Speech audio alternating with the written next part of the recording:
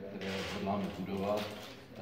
samozřejmě vybavuje každou zprávu obrovským množstvím dodatečných informací historických, politologických, eh, hovořili o Iráku a Sýrii, připomene, že v roce 56 byl konflikt a potom byl další konflikt a podobně. Eh, to pravděpodobně našeho diváka spíše mate,